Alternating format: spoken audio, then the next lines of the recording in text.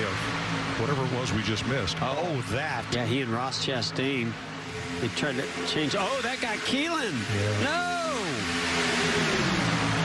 That was the ice cream run. Let's see. Keelan, he, he gets to pit road. Does he keep going or does you had 88 of Dale Earnhardt Jr. getting a big run. Oh, Oh, looks like the Austin three got to the outside of the 24 Yep. of William Byron, and then they made contact. Turned Byron into the wall. And, and, and and somehow, into Harvick. yeah, somehow Harvick gets involved, and now. Watch the three of Austin Oh, Dillon oh, center punches Kevin oh, Harvick, sends him